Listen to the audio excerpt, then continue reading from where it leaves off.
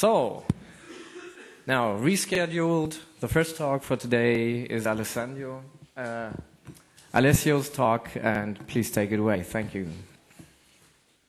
Hello, I'm uh, Mayhem. I'm from Italy. I'm uh, a part of the core team of a project. Uh, one of the founder, Raoul, is not here and send his greetings.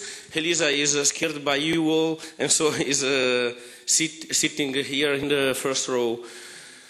Uh, the idea uh, was about uh, understand what are the threats, the problems, and people outside there.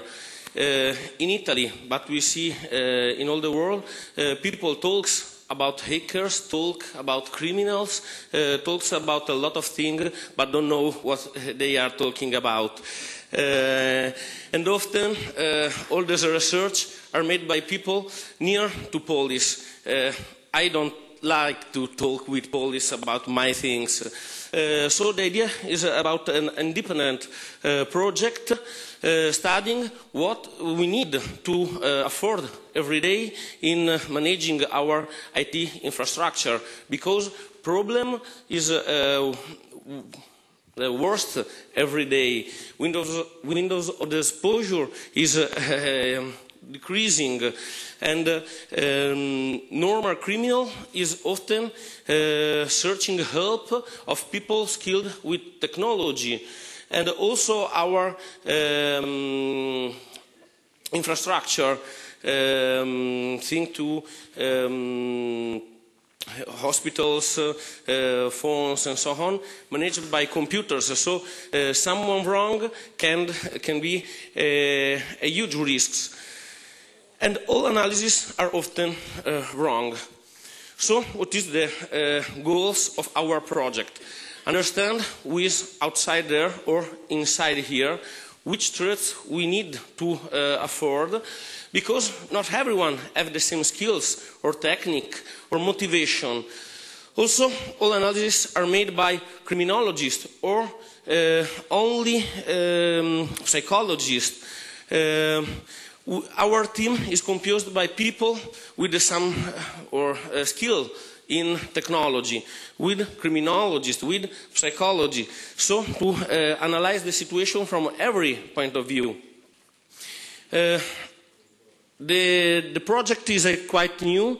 Uh, since today, since some months, we started with an online version of a questionnaire to, to be compiled uh, by everyone.